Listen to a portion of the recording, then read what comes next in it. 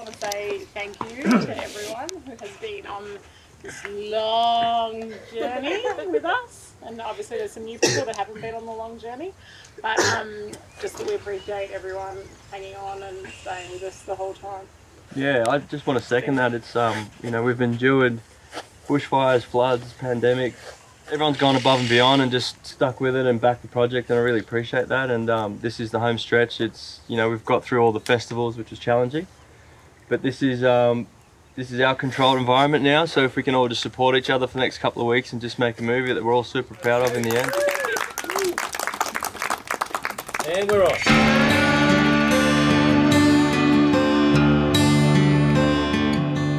Majority of the film was shot at real music festivals and there was a lot of scenes that we weren't able to pick up for certain reasons, whether it was, you know, too loud or ran out of time. So we had to create a controlled environment. We look around, we're essentially building a fake mini festival here just to get our pickup shots we missed at other festivals. We've got two site sheds side by side here, dressing rooms going up, Portaloos down that end. We should get a good four festivals out of it, so getting good mileage out of this location. when we staged a festival and we had to get dialogue. There was about 80 extras, all dancing to no music. And me and my cast members pretending to shout over the crowd as we delivered our lines. But really, we're just going, yeah, this band is sick! While kind of 80 extras are. And we're all, all kind of fake dancing. That'll be you one day. We've got a really good crew on this team, and I think that's what's managed to get through so many scenes in a short amount of time. And action. Hugh Miller, our DOP, I'm actually in awe of watching him work, almost as an artist creating a painting. And once he's happy, you know that the shot's beautiful. Because you can see how it's just suddenly given us that shape on the back Yeah. wall. The Gaffers are a father-son duo in T and Mark. I love watching them work, and they're just great guys to be around. Go to the music. Just go doom, doom, doom. All right. Our first AD, Andrew McAnally, is experienced, calm, almost like a mentor. Even if we, we are rolling and I call action, you can say, no, no, hang on, I just want a moment. Aisha Phillips, our production designer, and her team have been brilliant. They really understood the brief. And Gina, our costume designer, she just seems to nail that authenticity. Our hair and makeup artist, Ali Robertson, she's also just been a pleasure to work with. So all the departments and their team have just been great. It's just going to really add to this project and something that we'll all be proud of. Thank you. Cutting there. Beautiful. Thanks. That wraps our festival work for Six Festivals. Massive week, everyone. Thank, Thank you, everyone, for a very, very big week. Probably one of the most difficult scenes to shoot was the Portaloo scene. This is one of the scenes that our director Mac had um, as a clear vision in his head from the get-go. Now listen, you stay here. Don't let anyone in until I come back. You got it? You fucking got it, hey? The idea was to try and make it feel as real and claustrophobic as possible, but what we did was we built a set in a studio. So we essentially brought in a disabled Portaloo and we were able to take off walls as we needed it, depending on what angles we were shooting. Maxie, you in there? We used particular lighting to mimic stage lighting of a festival.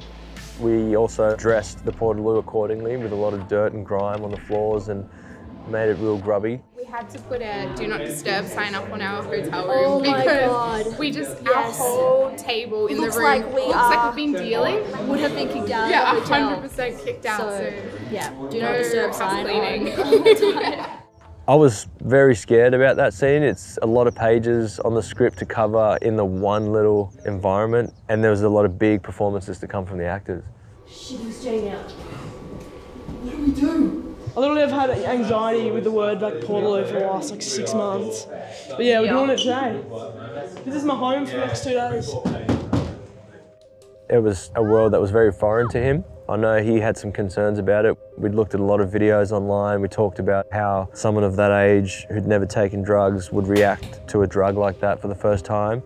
My brother doing an overdose scene was like, I was just shocked. I was like, oh my God, how is he doing this right now? Mentally, it was pretty challenging. Obviously, I'd never experienced anything like that before. My dad had a bit of a talk with me too um, about past experiences. The combination of our DOP, Hugh Miller's eye for detail, and our gaffers outside the box thinking of how to light it, our art department on how they would dress it, and everything just came together exactly how I envisioned it. So it was all about the performances, and the trio actually just went above and beyond, as did Kuyss.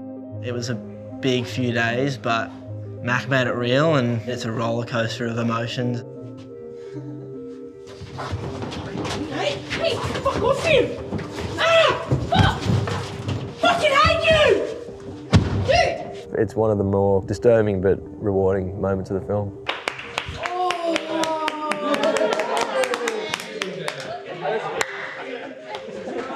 Just another day.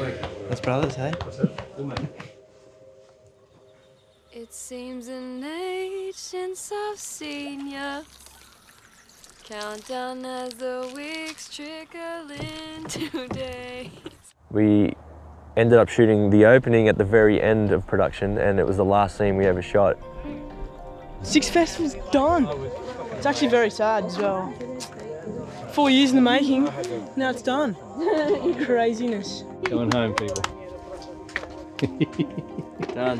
Fantastico. There you go. One well worn, well thumbed script. $800,000 on eBay. It was such an emotional, euphoric feeling to finally have everything in the can. Done. We had a couple of beers and tinnies that we cracked open, and it was a moment I'll never forget. Weeks of pain, but everyone just put in the work, and um, it was such a good bunch of people, good bunch of humans that actually got us through to the end. One more day, we probably would, someone would have died, but hey, appreciate it. And uh, that's um, my first film under my belt, and it's, it couldn't be done without you guys. Thank you very much. Cheers. Thanks, guys.